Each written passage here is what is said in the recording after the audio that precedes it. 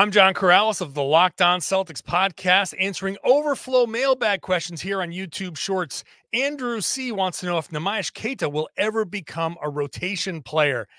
I don't think he's ever going to become a 30 minute a game guy. I think he's kind of a specific type of player. He's a little slow, he's a little clunky when he moves out there. I don't want to say he's not coordinated, he is, but he's not the type of guy that I think can go play fast running gun or against smaller lineups. I think he has a very specific role. He hangs out around the rim and yeah, he'll go and catch a lob or two. He'll finish some dump offs, but I don't think he's a guy that you can count on for 25 to 30 minutes a night. But he's young. Who knows? Maybe he'll change my mind someday.